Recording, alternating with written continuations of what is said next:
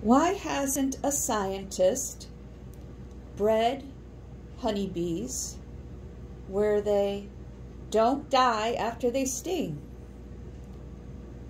I would think that would be a good thing, considering the drop in honeybees population.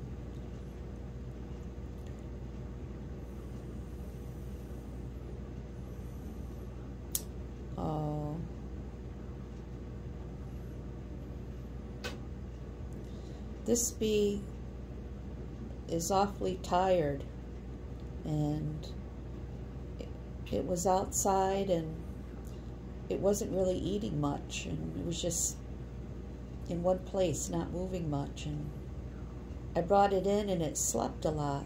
So there's something wrong with it. I don't know what. I tried to let it go yesterday. It was too cold. It just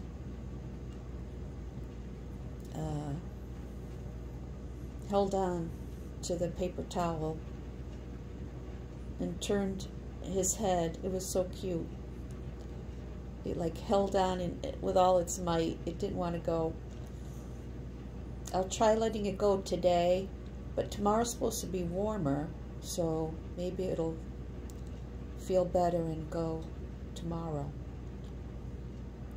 But I think breeding honeybees where they don't die after they sting someone would be a good thing.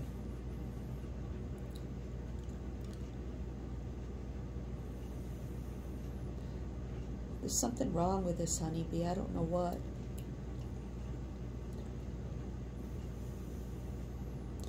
Well, it's enjoying the sugar and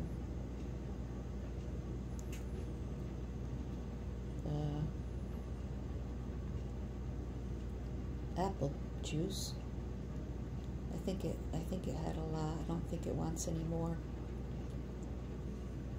You enjoyed that, huh? Hmm? Tastes good? Tastes good?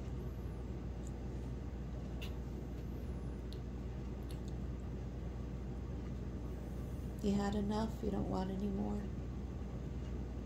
They could taste with their antennae.